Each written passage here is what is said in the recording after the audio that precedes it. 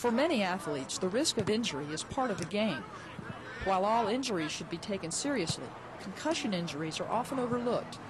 A concussion is a temporary alteration in normal conscious activity as a result of a blow to the head.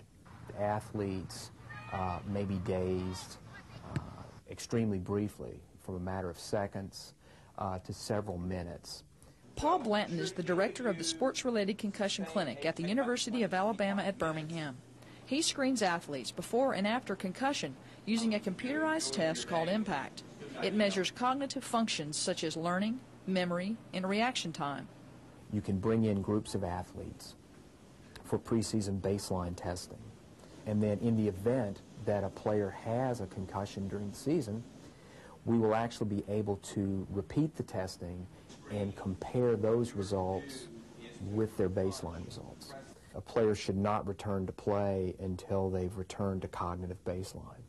Returning an athlete to competition too soon can be dangerous, especially if the player receives a second concussion in the same time period. And it's unfortunately often assumed by many coaches and athletes and, and parents as well that an athlete doesn't really sustain a concussion unless they're knocked out.